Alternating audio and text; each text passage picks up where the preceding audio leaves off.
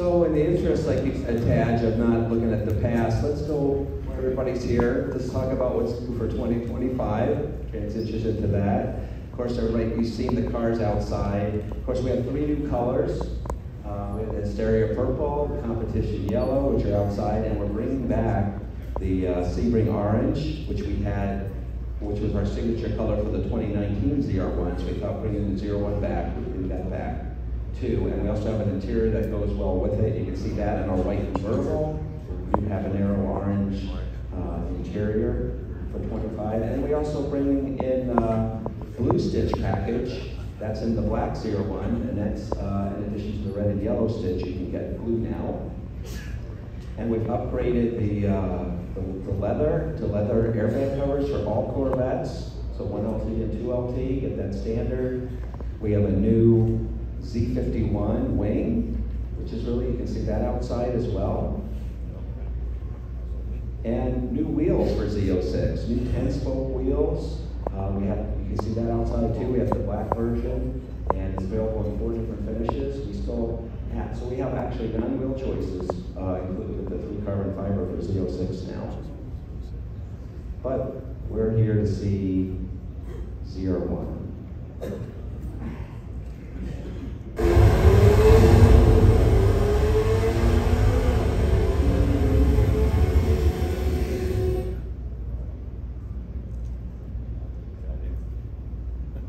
So this is the 2025 ZR1. We got two here and a rolling chassis. And hand it over to Kirk to talk about the design details. All right, how's everyone doing today? Great presentation, Harley, by the way, intentional. I'm sure you didn't expect that. Anyways, um, so we brought back the center spine, and you know, this is something that Bill Mitchell created early on, as you know, for the sixty-three Corvette. Um, the executives at that time basically told him that he could only have this split window for one year. And of course, we know there's more than that in in modern times. So we brought it back because of our collaboration with the race team. And the race team came to us and said, you know, we that are functional for the rear hatch, but we actually need more venting back there. And so that's where we created this third detail, which you, you can see, you can get it in body color or you can get it in all carbon fiber. Are shot here. And like I said, we like to give you the customers, you know, options, especially with uses of color. You'll notice too on the side, you'll see the paint break that's on the roof. That's actually a mask and operation with the carbon fiber. And you'll notice there's flex tube there. Here it is in all carbon as well. Uh, the upper portion, you heard us talking that this is for the brake cooling, or brake cooling. We still take air in the lower area as well. And for the, the big change is probably the hood. Here you can see that we, we've got this huge extractor on the hood. We do that for downforce. Obviously with the horsepower being thousand sixty-four, uh, that's pretty incredible for a car like this. So you really need to do things on the front that will help plant that. Um, we'll offer a couple of different gurneys. You see here, this is the vertical one. There's also one that's flush. You know, that one's more for top speed. Vertical is more for the track.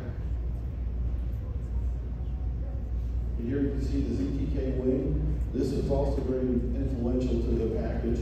They're gonna working with the race team and obviously uh, our guys in that, and we've got like five of the fastest drivers Corvette's ever seen. And uh, we work with them collaborating not only on the performance but also the aesthetics. And we value both, but we want the we want the aesthetics to be purposeful. And then Harlan, I'll let you touch.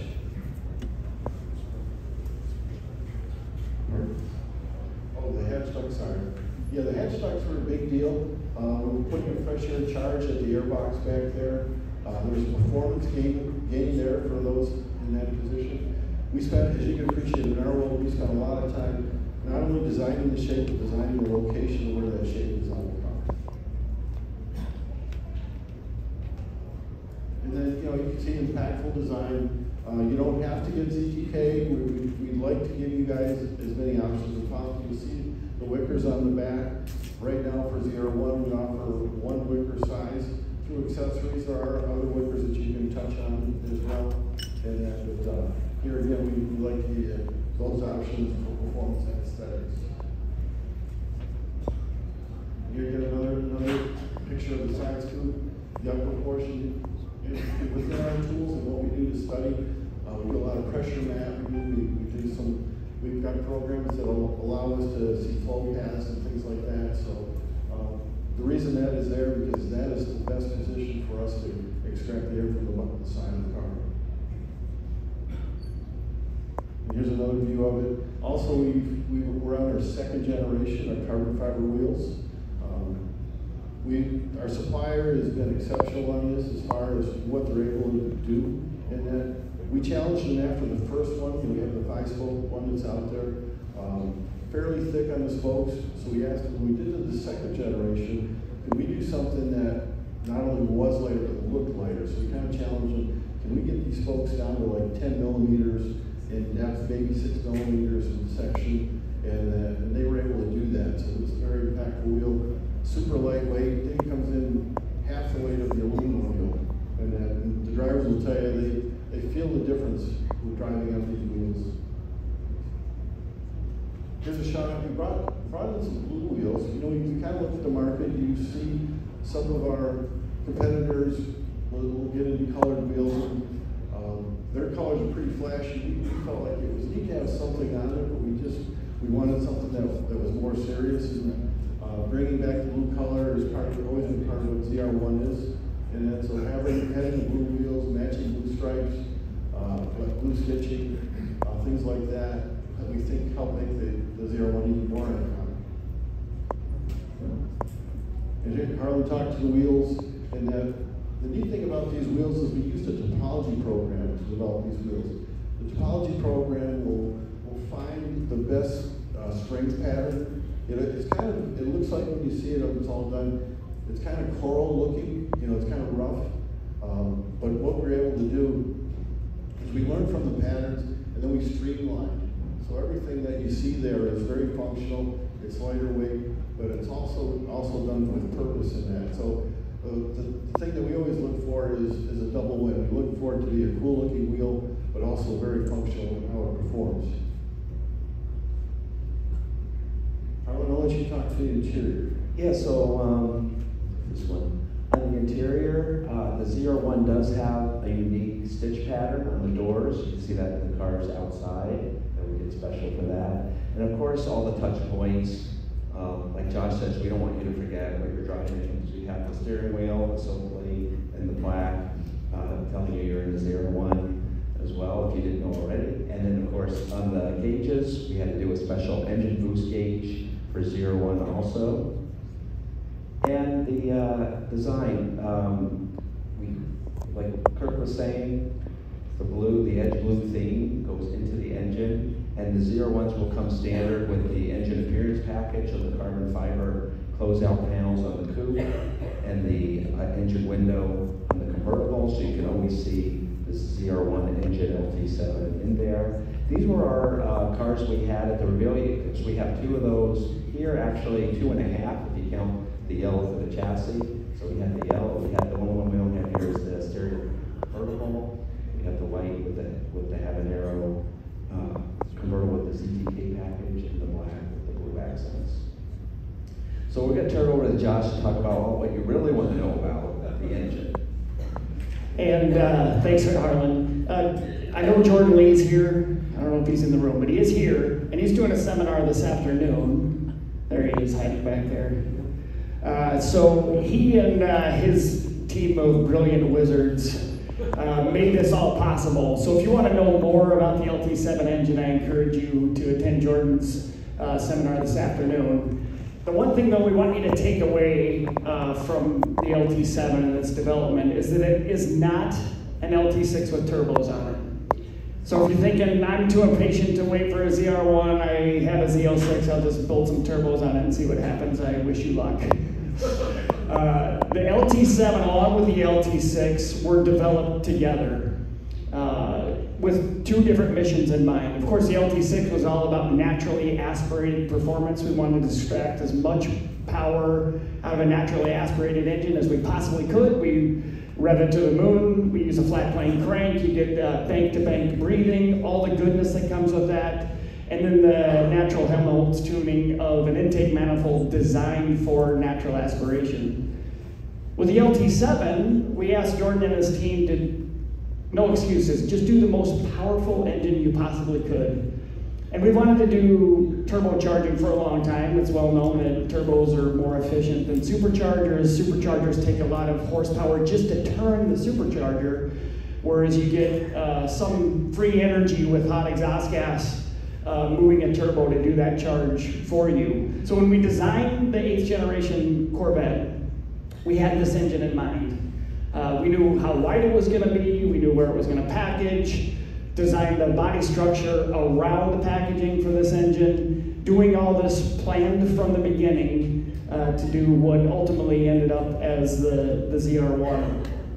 Um, they do share the, the block, the bore spacing, 4.4 uh, inch bore spacing, um, and the basic forging of the crank. But after that, their similarities uh, kind of end. Uh, the cylinder heads are all new and completely different, designed for uh, a boosted engine. The compression ratio on the LT7 is lower, so where the LT6 has 12.5 to 1 compression, uh, the LT7 is a 9.8 to 1 compression ratio. And uh, of course, we had to boost up the lube system. There were some things we joked that were kind of hidden on the LT6. If you knew where to look, you could see that maybe we were planning something different. Uh, the dry sump tank, for example, had a scallop in it that looked a little bit odd. Well, that scallop was to eventually make room for a turbo. Uh, we had on the LT6 a six scavenge pump dry sump system, but there was a stage for a seventh that was unoccupied. Uh, we're now using that to lubricate the turbos. And these turbos are massive, uh, 76 millimeter turbos, um, giant, and help make that massive horsepower uh, that the LT7 produces. And so our big paranoia was turbo lag. Uh, that's one of the downfalls with a turbo, especially one that makes a lot of power. The last thing you want is some kind of latency and throttle response. That needs to be very predictable, pre- predictable and measured. And so we did a lot of cool tricks to minimize lag. We call it anti-lag. A lot of it is in the hardware design itself.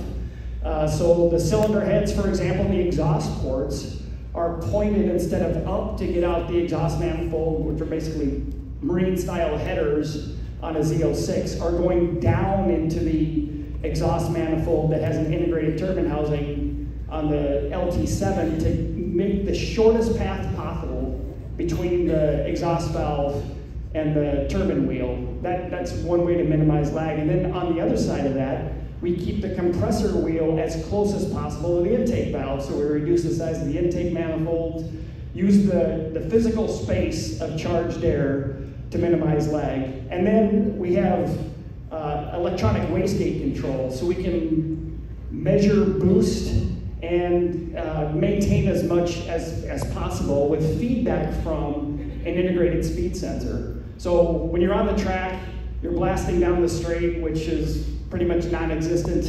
One corner comes after the next when you're driving a car with this much horsepower. You get off the throttle and onto the brake. We can maintain boost with that hardware. We're also using cam phasing and spark timing, a lot of trick technology and software uh, that helps us do all this, this good work. Okay, to me the most impressive thing, there's a lot of impressive things about the LT7 and the ZR1, but one of the most impressive things is this torque curve. If you look at it, it's around 800 foot-pounds of torque from 3,000 RPM all the way to 7,000 RPM for a peak at 828. But that torque is relentless. And some have asked, hey, you driven it, what's it like to drive? And it's really just words. I, I can describe it, use all these adjectives. It's not really describable. Uh, if you've ever been on uh, a roller coaster that has one of those linear motors or been and a car that can launch really hard, like an E-Ray, for example, where you feel your whole chest cavity just compressing in. You feel the blood rushing to your back, uh, your face getting sucked back. Imagine that experience that just doesn't stop. It just just keeps on going. Josh, I mean, I'm not the expert here. I think that's not a torque curve. It looks like a torque line. it's massive. And to put it in some perspective, uh, just to show you ZR1's passo, the 90 ZR1, um, I was in high school and that car changed my life when it came out. I just gotta tell you. I knew I wanted to be a, an engineer in Corvette, but when that car came out, it was solidified. 375 horsepower is sort of the start of Corvette entering uh, the supercar world. Um, and the LT7 is making that much power at 2,800 RPM. The 2009 ZR1, 638 horsepower at 4,100 RPM. And the last ZR1, the legendary uh, seventh generation ZR1, 755 horsepower at 4,750 RPM. Obviously, the 2019 ZR1 was no slouch. Uh, in fact, we used that car to train some of our drivers. Uh, as we progress through the driving levels inside of General Motors, we figure if you can handle the 2019 ZR1, you can handle a lot of car. And of course, the ultimate peak on the LT7, 1,064 horsepower, using 93 octane pump gas. You don't have to put ethanol in it. There's no tricks or gimmicks. You don't go and get a special cal from your dealer that voids your warranty. All of this is fully backed, meets all of our standards for any engine. Uh, we run it through all kinds of abuse tests just to make sure that um, we can stand behind all this power that you get right from the factory. In fact, we planned for, obviously, the power output of the LT7 and updated, upgraded our dyno facilities in Pontiac, Michigan. We upgraded two dynos uh, to be able to handle the LT7 because the dynos we had in the lab would not have been capable. And even after that upgrade, we managed to break the dyno. Uh, as, we, as Jordan and his team kept turning up the wick, finally we reached the limit of the dyno and physically broke uh, the input shaft of the dyno cell itself. We like to say the engine tried to free itself from the shackles of the dyno. Another interesting thing is that in the dyno lab, when we're running full poles, the exhaust temperatures reach some pretty extremes. In fact, uh, the turbine wheel uh, sees temperatures that are about two thirds that of a space shuttle tile on re-entry. So they're just glowing red, and the exhaust stacks that come out of the dyno lab see similar heat. So we have to measure and monitor the temperature of those stacks. And when they get too hot, we have to turn the dyno off to let them cool down. We were joking that uh, NASA had a thermal imaging satellite over Pontiac, Michigan, uh, and was calling to find out what the hell was going on there. All right, some more pictures of the turbocharger. You can see there the integrated speed sensor I was talking about. We got a shrouded inlet port that also helps uh, maintain some boost. You can see the asymmetry of the exhaust manifold, again, describing how the cylinder head design has changed in a way that takes the exhaust ports to their most direct path uh, to the uh, turbine inlet wheel. And I mentioned the temperatures of it. The wheel itself is made out of a material that some of us hadn't heard of uh, until very recently called MAR. Uh, you can Google it if you're interested in it. But basically, it's a step above Inconel. So it maintains very high mechanical properties at extreme temperatures, uh, super exotic uh, uh, stainless alloy. The turbo uses ball bearings, every trick we can use to minimize friction and all help uh, to minimize lag. Some other cool things when you look at LT7 that really tell its design differences from LT6 and what we intended to do with it for power output. But if you look at the difference between the piston and the connecting rod, the beam section of the connecting rod, while both are titanium in the LT6 and LT7, the LT7 is much thicker. The wrist pin is very telling. I wish we had one here that you could pick up. But the wrist pin that connects the piston to the connecting rod on the LT7 has a smaller ID and a larger outside diameter. So the wall thickness of the wrist pin uh, is physically thicker. And then, of course, the top of the piston, which is a dish piston, uh, has more material than the top ring because of the pressures inside the combustion chamber that make all this horsepower. Here's a view of the cylinder heads. Uh, so again, fully CNC machined cylinder heads. These are real race car engines, just like the LT6. Everything you see about the engine uh, is very customized, intent, and purpose built right across the street in our Performance Build Center at Bowling Green. But you can see the difference in the combustion chambers between LT6 on the left and LT7 on the right. Uh, we've got larger combustion volume that helps lower the compression ratio that I was talking about. And then some of the cars that the ZR1 competes with, which is pretty much any car in the world. Harlan, you want to talk about the?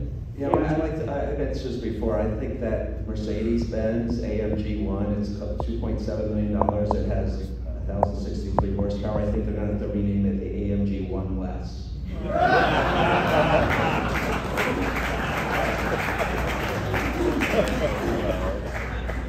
I And think it's called ours the ZR one more.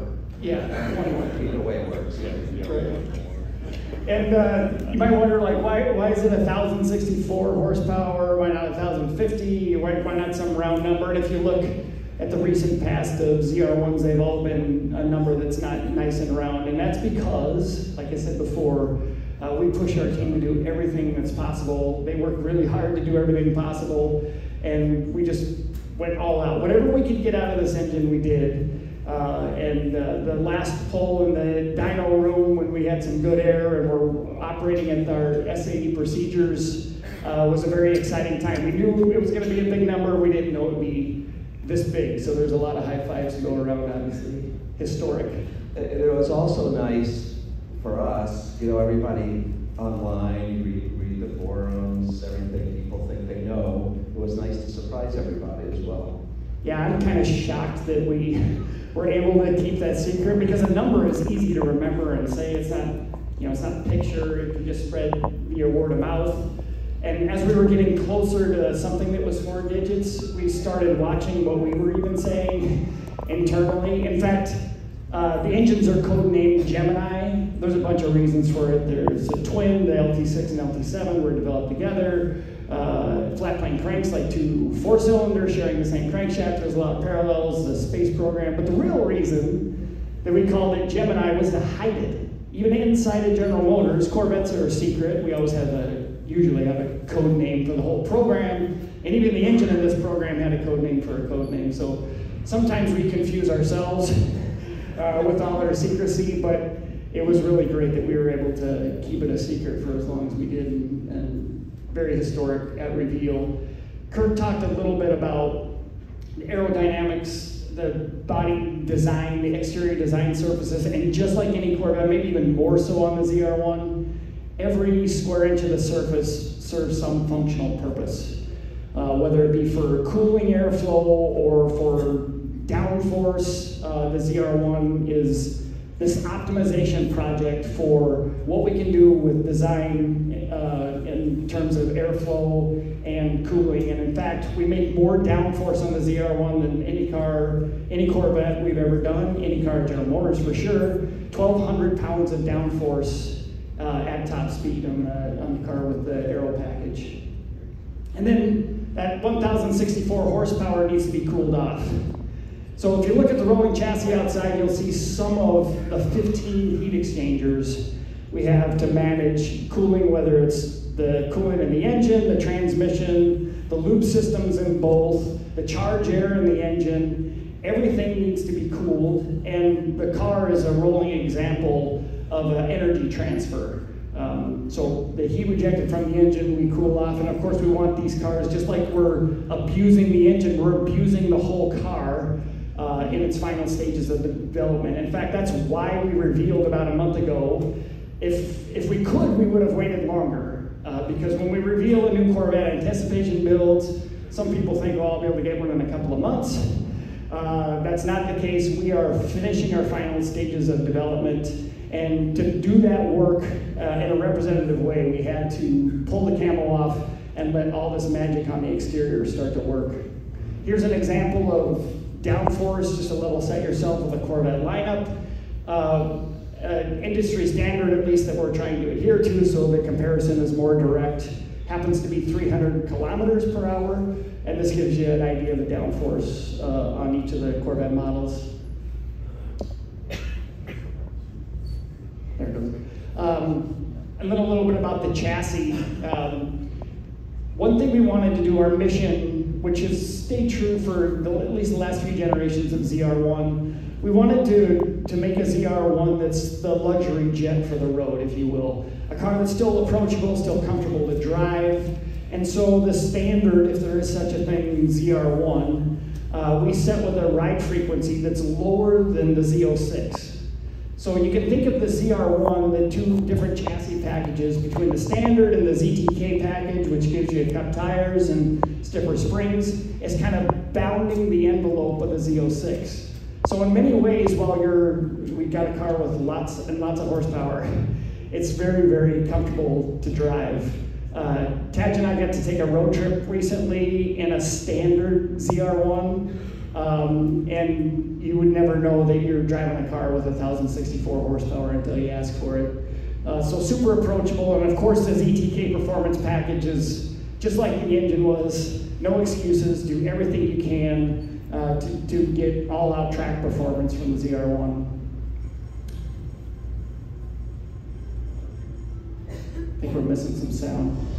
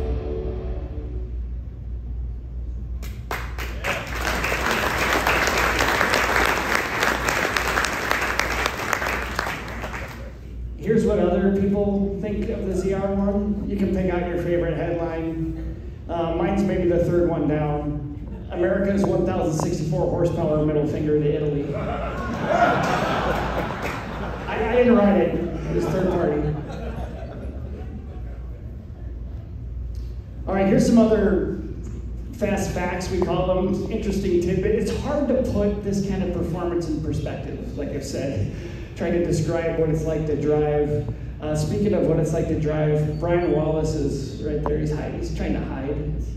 Uh, anyway, he's one of our hot shoe development. We have, and we can attest, it sounds like I'm bragging, but it's absolutely the truth. General Motors, and especially the Corvette team, has the most capable development drivers. And what I, a development driver is not just a race car driver.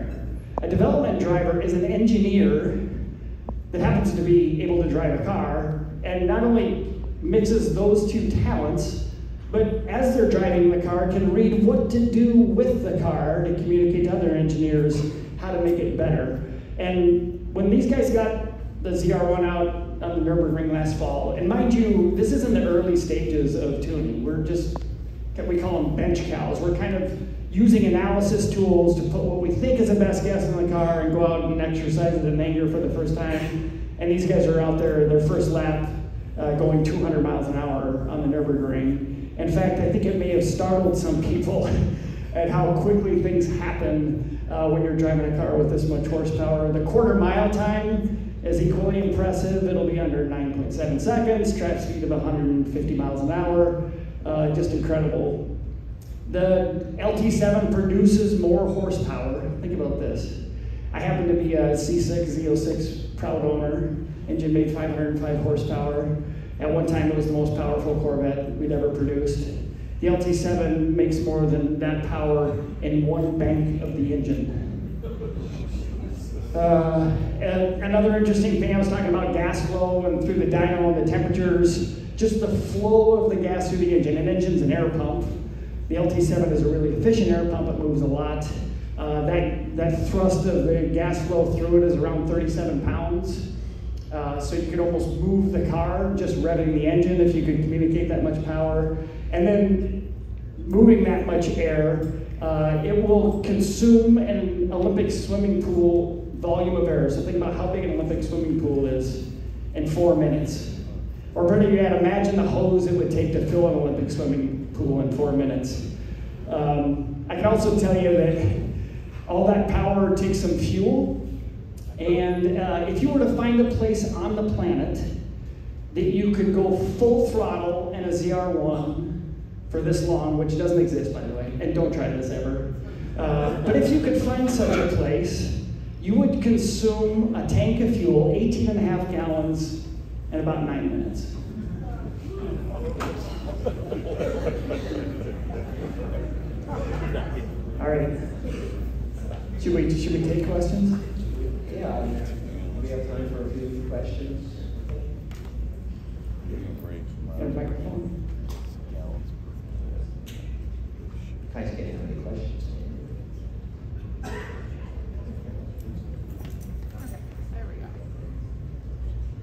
Two questions for you guys. First, production.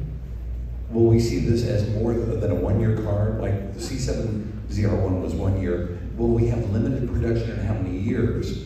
And the second question, Josh, for you, I know you said you weren't expecting 1,064 horsepower. What were you thinking it was going to be?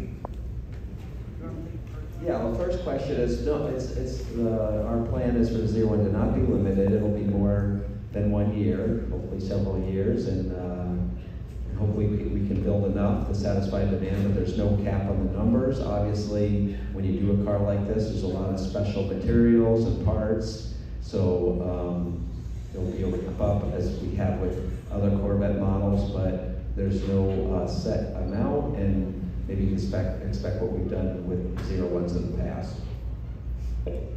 And as far as target setting, we did have a target. I I'm not going to tell you what it was, but it was substantially less than where we ended up.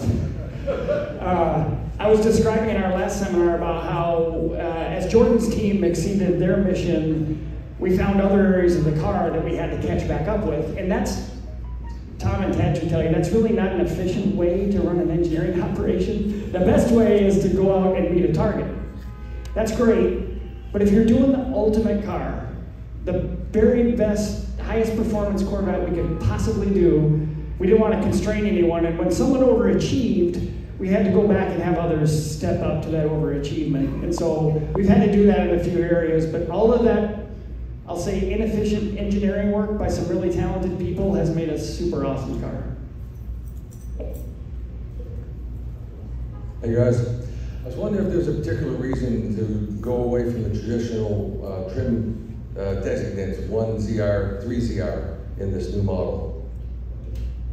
Oh, yeah, we do, um, it's, it's very, uh, similar to what we have on the, uh, Z06 and E-Ray. We have the one LZ. The difference though is, to your point, we don't have a, a two LZ, so we figured like with this car, you know, where, where it is, it's probably like the all or nothing car, you either want it all, or if you want the lightest, there's a few of you, you want the lightest ZR1 you get, you know, for track or whatever, or you just want a car with not as many frills, we have a one LZ. So a one or three, it, it- but the equipment levels are pretty similar in parallel what we have on E-Ray and Z06 in terms of the, you know, which ones have like the heated seats, and the leather wrapped interior, memory, that kind of stuff.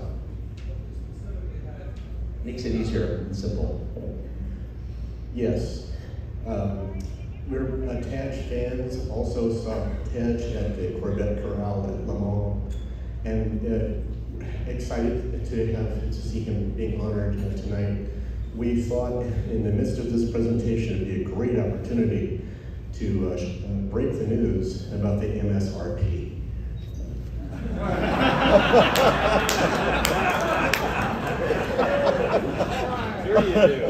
That would be a great opportunity. Only we knew what it was, we could tell you. That's awesome. But we'll send that up, that that would have been a good idea. Yeah. Maybe next time.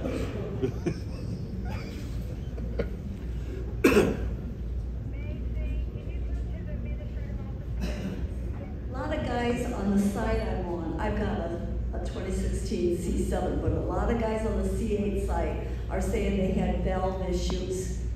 And that was generally right after they bought their cars. That's all cleaned up now? Valve, you said valve issues? Yeah. What valves are you running? Are you running the, the We have lots of valves in the Corvette. Yeah, I understand, yeah. But they You were saw having this on the internet, issues. and it's totally true. C6. A couple guys bought brand new C8s and they were on the road, not a lot of miles on it, and it was a valve issue. What caused that? That- I'm, I'm not sure which valve you're referring to, but I'll say this, that every single event that happens to a customer, we take very seriously. The eighth generation Corvette is, has the highest quality of any Corvette that we've ever done. Every car that comes off the line across the street is better than the one before it. It's continuous improvement. When you look at our warranty numbers, they're lower than they've ever been. That doesn't mean they're zero. And our, our target is to get them to zero. So whenever a customer has a problem, we have a dedicated team of a lot of people that pay special attention to that problem. We look at it very closely. We review data daily. And if we spot trends or issues, we react to them as quickly as possible. So oftentimes, somebody will have an issue and it gets a lot of traction on the internet. And um, while it's unfortunate that it happened, uh, there may be more um, stories about examples than there are in reality. So I can't answer your specific question because I'm not exactly sure what issue you're talking about, but you should all trust in the fact that we are working very hard to make every Corvette as good as we can make it. Would that have been rocker arm issue breaking? Valve spring issue. Valve, valve springs, there you go, valve spring. We ran a race car, I ran, my late husband ran a new second engine sprint car, so I've got a little knowledge on this, but there you go, valve springs, yeah. Okay, guys, I just want to take the opportunity to say that we actually, um, last year, won the JD Power Platinum Award, and that's not just for the best quality car as a sports car, that was the best quality of any car or truck on sale in America. Corvette won that award, and we won three years in a row the second award too, and we compete against the best cars in the world, and we're telling people, if you're driving something made overseas, you can upgrade your fun and upgrade your life, drive a, and your quality, drive a Corvette.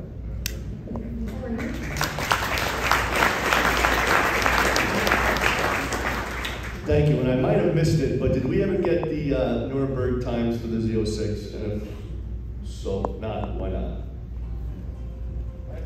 You didn't miss it. Uh, we- go to the Nürburgring to develop the Corvette. Uh, it's a special place that has a lot of different track elements all in one location. And generally, when we're there, the car is not done. I was describing earlier about how we had the ZR1 there last year, very early in its development phase. So we go there to learn and make the car better. We don't go to set a track record. While that gets a lot of traction and uh, it certainly makes some news, uh, that's not our primary mission, and that's why we've not uh, reported a Nürburgring time. There are third parties that have driven the Z06 pretty impressively uh, around the Nürburgring, and we're happy to let them do that. If in the off chance in some future, as we're there, we can get a lap time in, we would certainly share it. We're not going to share segmented or what our analysis says we can do. We want to be legitimate and share a full time, but we haven't shared one because that's not why we go there. We go there to develop the car, not to try to set a record.